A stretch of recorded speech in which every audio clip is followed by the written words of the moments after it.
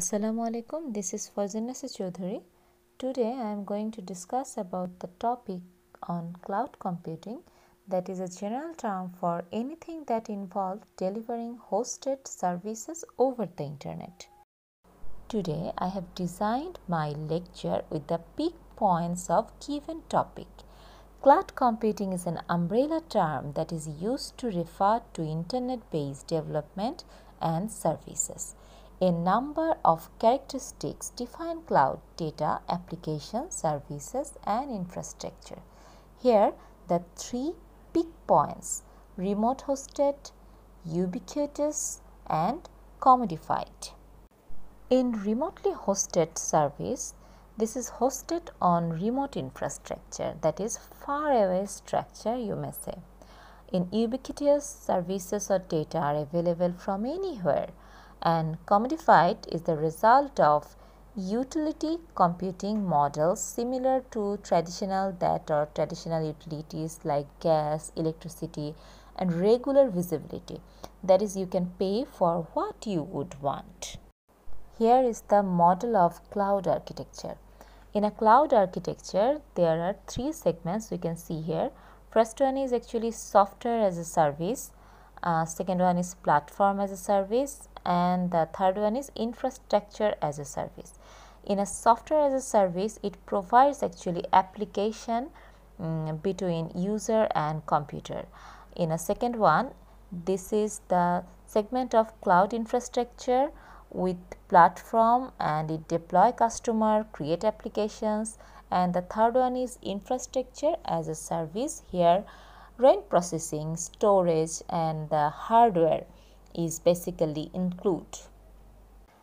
Here is a fundamental concept behind cloud computing that is the location of services and many of the details such as hardware operating system on which it is running are largely irrelevant to the user. Is with the mind that uh, metaphor of the cloud was browsed uh, from old become network schema and in which public telephone network can later to internet was it's often represented as a cloud to denote that just didn't matter.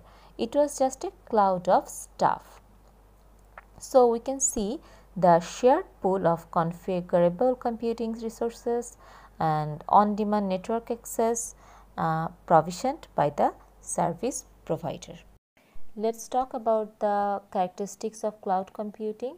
I have designed my lecture with the fundamental points of characteristics in a common section of character uh, in a cloud computing session that is massive scale, homogeneity, virtualization, low cost software, uh, resilient computing, geographic distribution, service orientation and advanced security but the essential characteristics are on-demand self-services that is broad network access, resource pooling, rapid elasticity and measured service.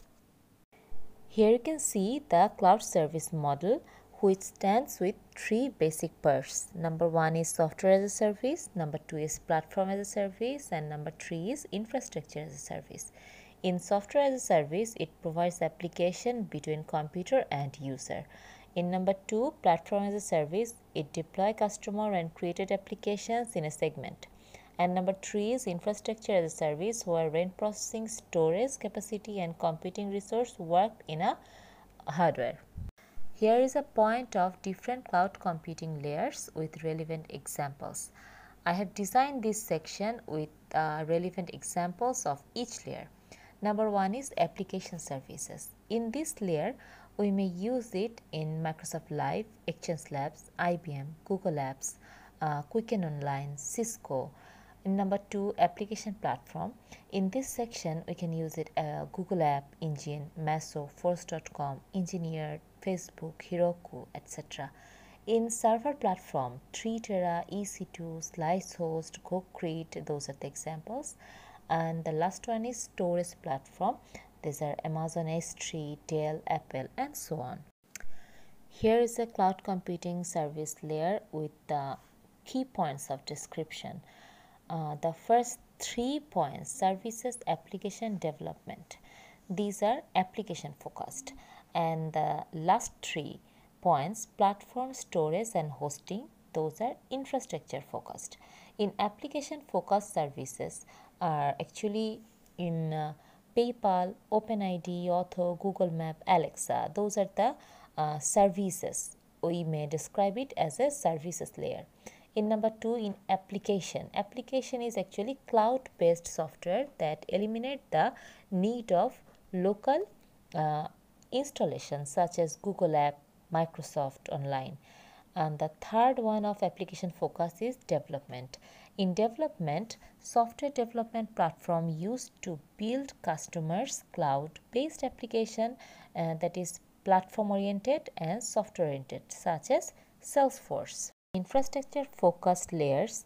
First one is platform. It platform is actually based on typically provide using virtualization such as amazon ecc sunbridge uh, in storage data storage or cloud based it ns like uh, ctra ids cloud ns in hosting hosting physically data uh, contains such as those run ibm hp navier etc in basic cloud characteristics are actually transparent to user applications, they can build in multiple ways.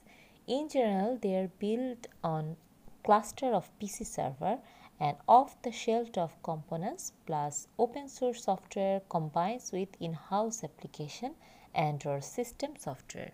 When we describe cloud computing thoroughly, then virtualization is a vital points or vital issue to be discussed.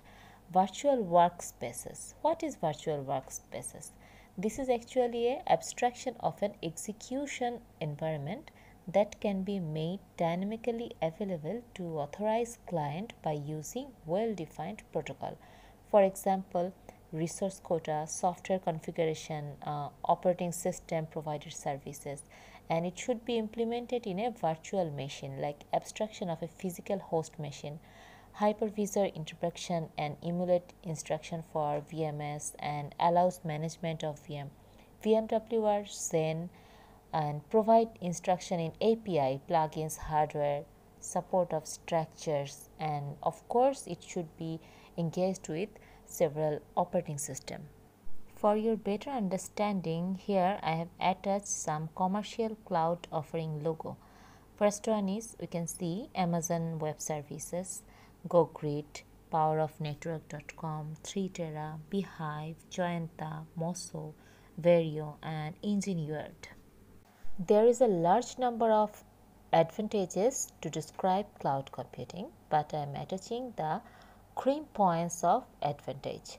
Number one is lower computer cost. You do not need a high powered and high prices computer to run cloud computing web based application. Since application run in cloud, not on the desktop PC, your desktop PC does not need the processing power or hard disk space demanded by traditional desktop software. When you are using web-based applications, your PC can be less expensive with the smaller hard disk, less memory, more efficient processor. In fact, your PC in the scenario doesn't even need a CD or DVD drive as no software program have to be loaded and no documents file needed to be saved. Cloud computing you can get instant software update and also you can improve documents format compatibility. In instant software update the advantage that computing you cannot get longer faced with choosing between obsolete software and high upgrade cost. When the application is web based, update happen automatically. It's available the next time you log into the cloud. When you access a web based application, you get the latest version without needing to pay for download or upgrade. In improved document, you do not have to worry about the documents you create on your machine being compatible with the user application or operating system. There are potentially no format incompatibilities where everyone is sharing documents and application in the cloud. Cloud computing offers limitless storage. Your computer currently 1 terabyte hard drive is smaller compared in the hardest byte available in the cloud. It increased data reliability. Unlike desktop computing in which like hard disk crashed and destroy all the valuable data, a computer crashing in the cloud should not affect to the storage of your data. If your personal computer crashed, all your data is still out there in the cloud, still accessible. In a world where few individual desktop PC user back up their data on regular basis, cloud computing is a data safe computing platform. Not only that, cloud computing is an universal document access. That is not a problem with a cloud computing because you do not take your documents with you. Instead, they stay in a cloud and you can access them whenever you have a computer or internet connection. Documents are instantly available from where you are. The latest version of availability, when you edit document on home, that edited version is what you see when you access the documents at work. The cloud always hosts the latest version of your documents. As long as you are connected, you are not in danger of having an outdated version. Easier group collaboration. Sharing documents leads directly to better collaboration. Many users do it as important advantages of cloud computing. Multiple users can collaborate easily on documents and projects. Uh, device independence, you are no longer tethered to a single computer or network. Changes to computers, application and documents follow you through the cloud move to a portable device and your applications and documents are still available. Now I am going to discuss about some disadvantages of cloud computing. Uh, the first disadvantage of cloud computing is it's require a constant internet connection. Cloud computing is impossible if you cannot connect to the internet. Since you use the internet connection to both your applications and documents, you do not have an internet connection, you cannot access anything, even your own documents. A dead internet connection means no work and in areas where internet connections are few or inherently unreliable, it could be a deal breaker. In cloud computing, stored data might not be secured for all the time. With cloud computing, all your data is stored on a cloud. The question is how secure in the cloud? Can unauthorized user gain access to your confidential data? This answer is not in our hand. Stored data can be lost. Therefore, data stored in the cloud is safe, replicated access multiple machine but on the off chance that your data goes missing you have no physical or local backup. Put simply relying on the cloud puts at the risk if cloud lets you down. Last but not the least the future of cloud computing. Many of the activities loosely grouped together under cloud computing have already been happened and Centralized computing activity is not a new phenomenon. Grid computing was the last research-led centralized approach. However, there are concerns that the mainstream adoption of cloud computing could cause many problems for user. Many new open source systems appearing that you can install and run on your local cluster should be able to run variety of application on this system.